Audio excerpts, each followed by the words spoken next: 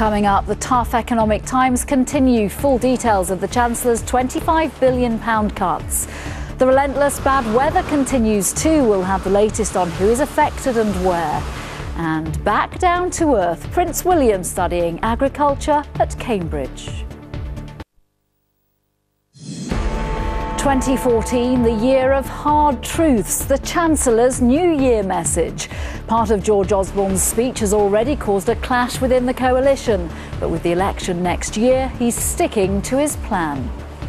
We can give up, go back to square one, risk everything, or we can confront the hard truth that more difficult decisions are needed also this lunchtime, no let up, the relentless rain and strong winds still battering Britain. The call for a single inquiry into who knew what about Jimmy Savile. And from the forces to the fields, Prince William prepares to study agriculture at Cambridge.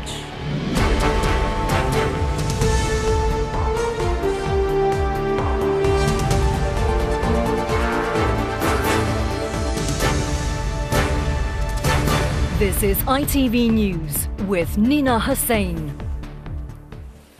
Good afternoon. If you were hoping for an upbeat New Year message from the Chancellor, you'll be disappointed. George Osborne says 2014 is the year of hard truths. Those truths are £25 billion worth of cuts to public spending after the election next year. But the plan's already put the Conservative on a collision course with his coalition partner Nick Clegg, the Liberal Democrat Deputy Prime Minister. He says the Chancellor is targeting the working age poor by planning to scrap housing benefit for the under 25s, and that is a monumental mistake. Our political correspondent Libby Wiener has more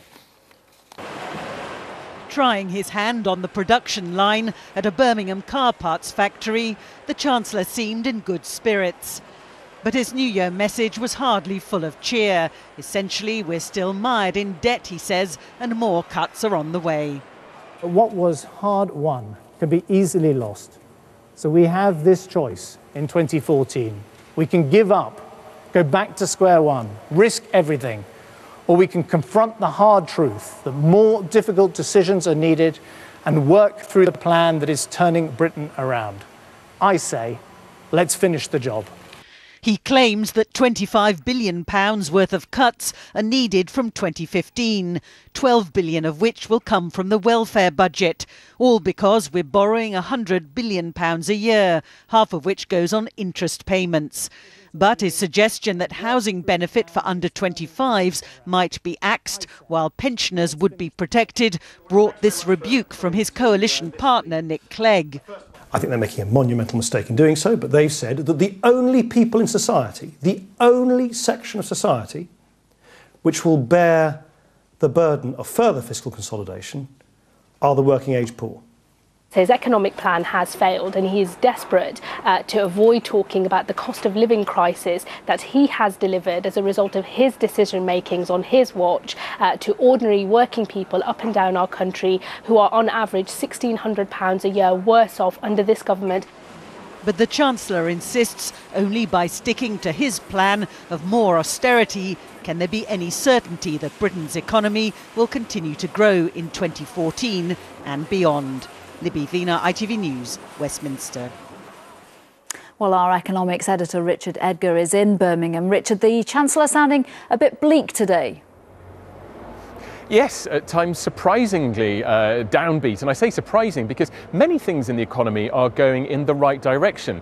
And uh, he was talking uh, here at this company a little bit earlier today, and it's a very good example. It supplies parts to car makers like Jaguar Land Rover, which is booming. And as a result, they've just been able to open this production and distribution centre, uh, which has quadrupled its size, and they're adding 400 new staff over the next couple of years. Um, and that's reflected in the wider economy as as well, which is growing and unemployment is dropping like a stone. And yet the Chancellor uh, was warning of more government cuts yet to come. He said that he doesn't want to squander what we've achieved in reducing the extra borrowing that the government is adding each year to the country's already huge debt pile. And his implication was that he would take the responsible decision while Labour would fritter it all away. Well, the, the Shadow Chancellor, um, you heard it in the package, but the Shadow Chancellor also uh, countered by this saying that they would have to make cuts. Um, but he, Ed Balls, wanted to focus once again on what Labour calls the cost of living crisis. So ahead of an election, we're in the peculiar position of not only the opposition criticising the flaws in the economy, but the government as well. I think the tone of this conversation may change in the months to come. Mm. Richard Edgar, thank you. Dozens of flood warnings remain, including one severe after heavy rain and gales still wreak havoc across the UK. Buildings along coastal areas have been evacuated as large waves threaten homes and businesses. Travel disruption continues up and down the country. Forecasters warn there's more of the same on the way. Sejal Karia has the details. There is simply no let up.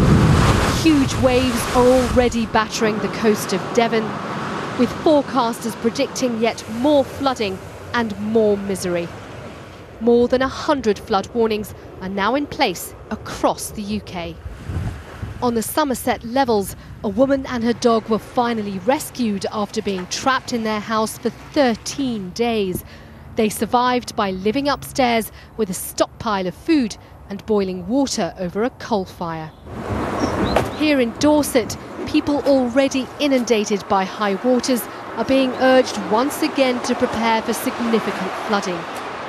It's moving, isn't it? Yeah, it is. Jim Calvert's garden is meant to back onto a field. The heavy rains turned it into a lake, lapping just a few feet away from his land and his house. Well, all this, what you see here, right across as far as you can see to the houses over the back, is all field all greenery. And you even got the cows and, and all that all over the fields a lot. And the storms have wreaked havoc on the roads and railways. Along the Cumbrian coast, this station in Kirkby in Furness looked like it had a river running through it rather than railway lines. And 50 miles down the coast in Flimby, 120 yards of railway track was washed away by the sea. People are being urged to stay away from sea fronts, no matter how tempting, with waves as high as 9 metres expected to hit many coastal areas and gusts of 70 miles per hour. People are being warned to be prepared. Sejal Karia, ITV News. We can join Martha Fairlie now, who is in Dorset, where that severe flood warning is in place. How bad is it there right now, Martha? Well, the winds have certainly picked up in the last couple of hours, and we've also just had a high tide. Now, the water is breaching uh, the edge of the quayside here, but so far not on the levels we've seen over the past few days. With me is Ian Parker, who's senior helm of the lifeboat Mudeford. Uh, now, Ian, how busy have you been over the last few days? Uh, we've been very busy for this time of year. We've been out every single day for the last five days uh, to various incidents. And I mean, we've seen in the background there are windsurfers out here. It's obviously amazing conditions for them, and also people are out taking photos. Uh, it's all very dramatic. Uh, how difficult is it to, to get across to people that this is actually dangerous? Um, yeah, it can be a very dangerous situation with these high seas and the large waves that are coming in. Um, we've been out to a few uh, windsurfers who have been having a good time out there, but some, some of them have been overwhelmed by the conditions, other ones have had gear failure and uh, and although you know it's very nice to come and have a look at the rough sea, you do need to be very careful because the waves are very strong and they, they create a very strong undercurrent which pulls away from the beach. So if you go out there with your pets and things like that, you need to be very careful because they can get pulled out to sea. And uh, we're being told that the flood warnings are going to continue over the next few days, so presumably uh, you'll be on standby for, for more call outs. Yeah, we're, we're not expecting to uh, get any quieter at the moment. It's uh, with these conditions continuing, the heavy rain and the wind to continue, it's uh, yeah, very busy this time of year. Thank you very much, Ian. Well, uh, we're being told that residents in the area of the Lower Stour uh, should be prepared for further flooding over the rest of the week. So, uh, really, more of the same to continue.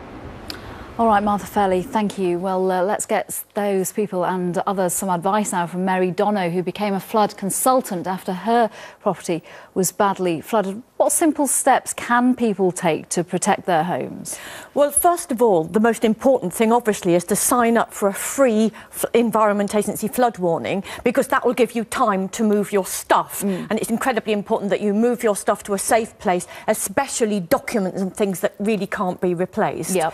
Um, then things like air bricks just an ordinary innocuous air brick, 5,000 litres of water an what's, hour. What's an air brick? Sorry. It's, it's the ventilation on the side of the house. Right. It can let um, 5,000 litres of water an hour into your home. So either simply putting on a kite marked flood protection product or a self-closing one in preference, then that can reduce that. You can also put uh, fit a kite marked flood door onto the front of your house or better still an ordinary looking door that you can lock and it becomes a, an immediate um, flood protection product whether you're in or not. And what about the old-fashioned use of sandbags? Because often they just don't work, do they? So you get them, you get them from the council, but the water comes in and your property is ruined. I hate sandbags with a vengeance. It's going to be written on my epitaph. Ban the sandbag. They're merely a comfort blanket and they do no more than filter the water so you get cleaner flood water in your house. They don't stop it. And what about if you've been flooded more than once and you're struggling to get insurance? Because that's it's devastating to have your property flooded, and we know that the, the impact can take months to recover from. But what about if you can't get insurance? Well, actually, I haven't actually found, because I've been helping people to find insurance. If you go on the Quote Me, Quote Me Quick and Happy websites, they will automatically turn you down. But if you shop around on something like the British Insurers Brokers Association website um, or go to a local broker, you can normally find flood insurance. The excesses might be high, but with the government's agreement with the ABI, the Association of British Insurers, coming into play in 2015, everybody at significant flood risk will be able to obtain insurance. So don't give up. Mary Dhonau, thank you so much for all that advice. Thank it's you. My pleasure. And you can keep up to date with the weather and the latest Environment Agency warnings on our website at itv.com/news. Well, while heavy rain and winds batter parts of the UK, temperatures in North America are expected to plummet to record breaking lows of minus 50. It is thought more than a dozen people have died after icy snowstorms across the United States caused by dense air known as a polar vortex. Lucrezia Millarini has the latest. In the grip of the deep freeze, America's northeast is battling the elements and record low temperatures. Overnight, many states were pounded by more heavy snow, icy roads, and high winds, making travel treacherous. It's so cold in Chicago, residents bracing for the big chill are now calling their city Chiberia. Snow and ice were blamed for this multi vehicle pileup in Staten Island, New York. Air travel's also been hit. At JFK Airport, this plane skidded off the runway, with thousands more flights now cancelled. Airlines warning it could take days to get people to their final destinations. And today, school was out for the entire state of Minnesota. It's thought the hazardous conditions have claimed at least a dozen lives, all the result of a weather system called the polar vortex, bringing dense, cold air from the North Pole, spreading across the upper Midwest to mid Atlantic regions. In Chicago, the advice is to stay inside if possible, advice some are ignoring. It's wonderful. It's Chicago. You got to enjoy it. Over the next day, its forecast temperatures could reach as low as minus 51 degrees Celsius with wind chill. For many, the eye of the storm is yet to pass. Lucrezia Millarini, ITV News. And there'll be much more on the weather both here and in the United States on the ITV News at 6.30. Next, though, Jimmy Savile's victims are demanding a single inquiry into how the former DJ was able to evade justice. There are currently dozens of separate inquiries underway with different organisations, including the NHS and the BBC, all being investigated. Juliet Bremner joins me now. What exactly do victims want right now? Very simply, they want one big inquiry, or some of them do. Most of these victims will already have been asked to give their evidence or allegations, as you say, to the BBC, where Dame Janet Smith is over, overtaking the, the, biggest of those. There are dozens going on in the NHS hospitals and trusts, 19 mm. last year announced by the Health Secretary, and some police forces as well, where allegations were either ignored or certainly mishandled. Now, there are more than 30 at the moment, and they say what happens when all those come back at different times, probably with different conclusions. Who's going to have a look and see what the key questions are that they raise, the key failings, and make sure that any findings are implemented? What do you think the chances of it actually happening that these demands are met and they get this one umbrella, I suppose? Certainly inquiry? not anytime soon. Uh, for, there are various people who say, well, do we want this anyway? The NSPCC say it could drag on for ages and ages and be very expensive. Look at the Chilcot inquiry into the, the, the Iraq war. Some four years down the line, we still haven't heard from them. And the government says it certainly won't be stopping those individual inquiries that are going on now. That would be abandoning them halfway through, although they haven't ruled out an inquiry. Uh, and they point out the fact that since the Savile scandal erupted, the whole issue of child sex abuse has actually come into the spotlight anyway. Juliet Bremner, thank you. Still to come, the England coach reflects on the Ashes' embarrassment. And the mature student, Prince William, prepares for life back at university.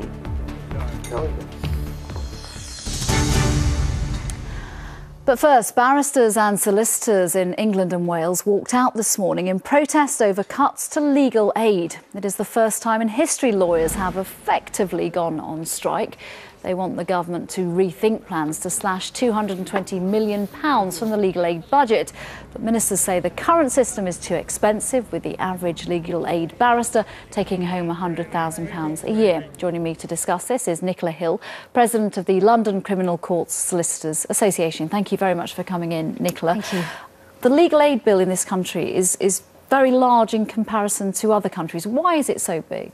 Uh, well, that's simply not true. That's a statistic that the government point, put, put, out for their own benefit. In fact, there was a report from the National Audit Office in June of last year which shows that comparative spend on legal aid for the UK is average with other European and international countries. So that's simply a misrepresentation. Obviously, this is unprecedented action. Why are all these solicitors and, and barristers taking it today? Why, why do they feel that the legal aid budget as is needs to be protected? We are very, very, very concerned about the impact that this is going to have on the access to justice and the quality of justice for all. But there will still be solicitors and barristers, legal teams to represent people, won't they? We're not getting rid of those people. Well, again, this is a convenient comment that the government make. There will still be access to justice. There will, but it will be a real second-rate, second-class access. The problem is that all of the high-quality, robust solicitors will have to leave because they will not be able to provide the, the service that we need that needs that is required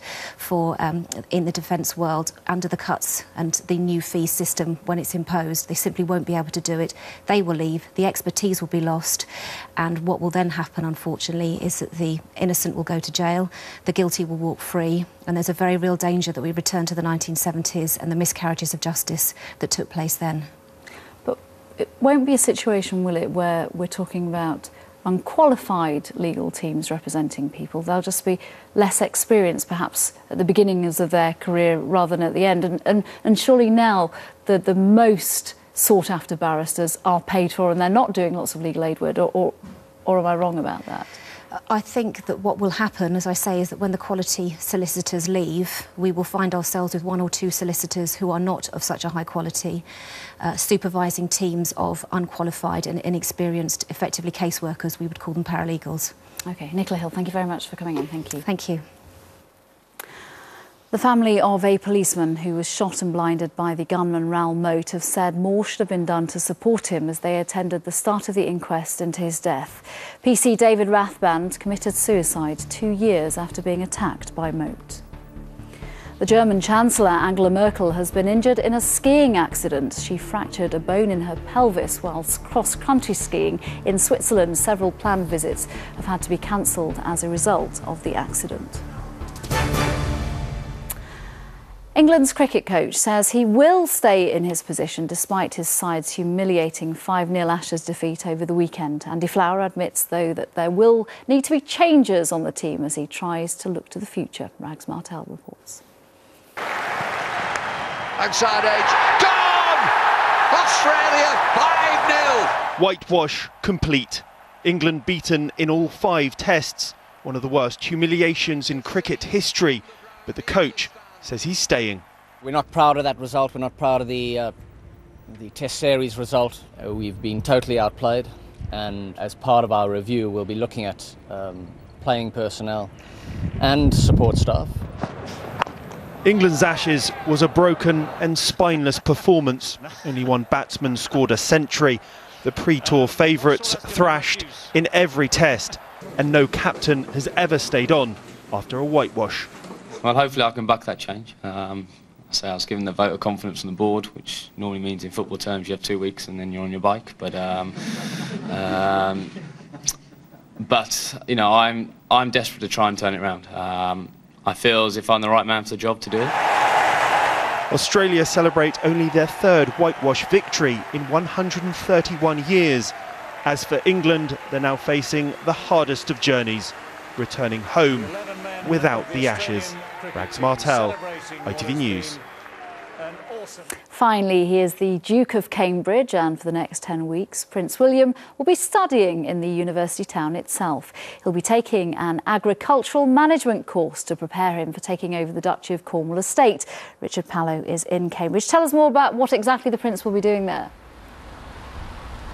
Well, if you can see it through all this rain and miserable weather, this is the uh, rather unremarkable four story house that the Prince will be spending much of the next 10 weeks in, uh, doing something in the region of 18 to 20 hours lectures, seminars, and study groups. Uh, inside this building and also inside a separate college affiliated to the university, of which that we've not been uh, let known. This is on a roundabout on the outskirts of Cambridge, uh, so nothing, nothing glamorous if you want about it. And the course in particular is directed towards directors of companies, marketing executives, uh, that kind of thing. But for the Prince, it will be looking at agricultural management in particular.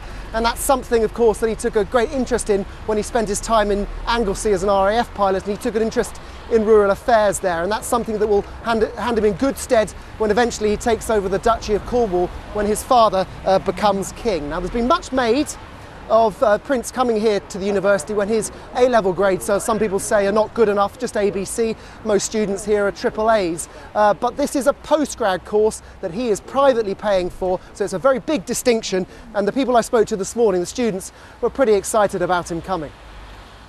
Oh, uh, that seems, sounds like seems like a really good idea. I hear he's studying um, agriculture in the university, so it should be really interesting to see what um, he's going to do here. Oh, okay, we didn't know that actually. Is he coming for just to, stud- to study? For 10 weeks. Are you excited? 10 weeks. It's a joke. well, he starts tomorrow, but you guess that a few students might come back early uh, to catch a glimpse. Richard, thank you. That's it this lunchtime from everyone here for now. Bye bye.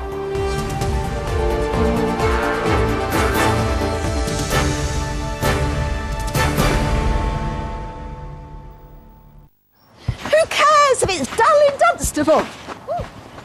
Woo! My cheeks are glowing. Woohoo! Seven Seas Omega 3 range proudly sponsors the ITV National Weather.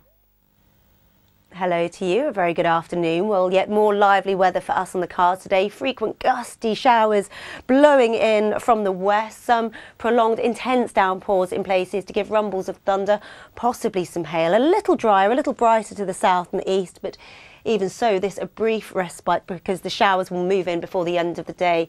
You'll be lucky to escape the wet weather as the day goes on and to accompany those downpours. Gusty winds, particularly for the west and the southwest here, gusts of 60 to 70 miles an hour a chance of gales and big, potentially battering dangerous waves around these coastlines all day with yet more wet weather forecast tonight. Flood alerts and warnings remain in place. Seven Seas Omega 3 range proudly sponsors the ITV National Weather.